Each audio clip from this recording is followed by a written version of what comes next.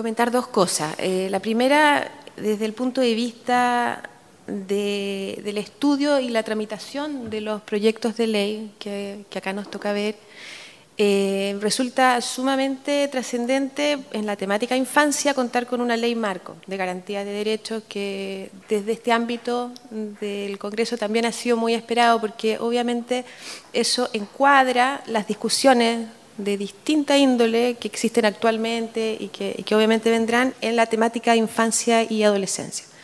Eh, como ejemplo, se está tramitando, discutiendo actualmente la ley de reforma de adopción de niños, eh, la de maltrato infantil en ambas cámaras, con distintos proyectos de ley, eh, de entrevistas videograbadas, también está en un estadio bastante avanzado.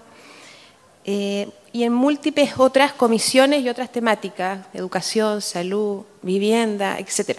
Eh, todas las cuales involucran y afectan directamente a niños, niñas y adolescentes. Entonces, contar con esta ley marco para el, estudio y el abordaje de los proyectos de ley que están en tramitación es de suma relevancia y, desde luego que se espera con ansia que se materialice.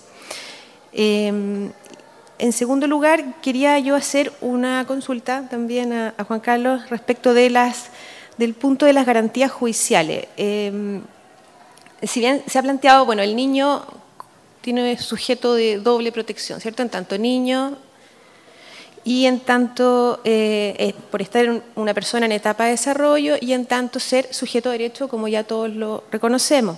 Entonces, eh, obviamente le atañen una serie de derechos, entre ellos el derecho a ser oído, y, siendo este un derecho, como comentaba, me parece Juan Carlos, uno de los derechos pilares del sistema, el derecho a ser oído, y se ha mencionado ya en varias oportunidades acá la importancia de la defensa letrada.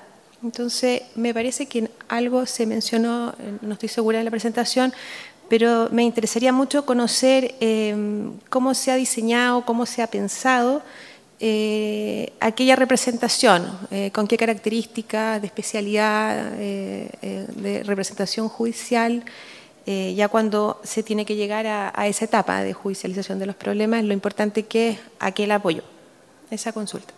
Gracias.